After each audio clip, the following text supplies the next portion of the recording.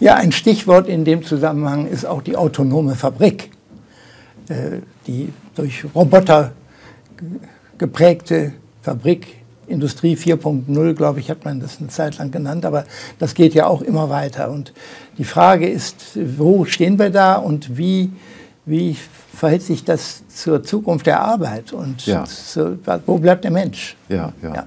Also zunächst mal Industrie 4.0 ist nicht gleichbedeutend mit autonomer Fabrik. Ja. Das ist ganz wichtig an der Stelle. Ja. Äh, es gibt ein paar Leute, die träumen davon, die vollautonome Fabrik zu haben. Äh, Licht aus Fabrik, Light Out Factory ist da auch ein Schlagwort. Mhm.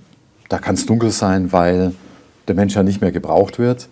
Dass ähm, vielleicht auch die Maschinen Licht brauchen, um zu sehen, das ist eine, eine ganz andere Ironie. Also da, ähm, äh, mhm. so, die ganz dunkle Fabrik wird es sowieso nicht geben. Äh, die Frage ist auch, ob wir wirklich Fabriken entwickeln wollen, wo kein Mensch mehr arbeitet. Und wenn man jetzt nur rein technisch denkt, wäre das möglich und technisch wahrscheinlich auch sehr faszinierend. Also als Forscher würde mich das faszinieren.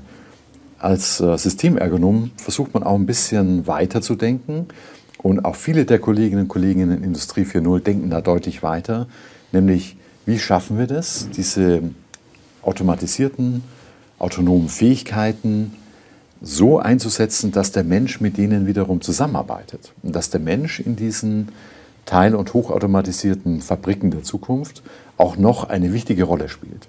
Also vor allen Dingen, dass da auch Arbeit entsteht, die gut ist mhm. und die Menschen auch in Lohn und Brot hält.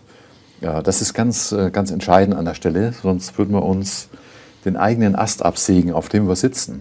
Also äh, es macht überhaupt keinen Sinn, als Forschung und Entwicklungsgemeinschaft ähm, oder als Gesellschaft da vollautonome Fabriken zu entwickeln. Das würde uns nur in eine Ecke dann auch äh, bringen, die äh, gesellschaftlich wirklich gefährlich ist.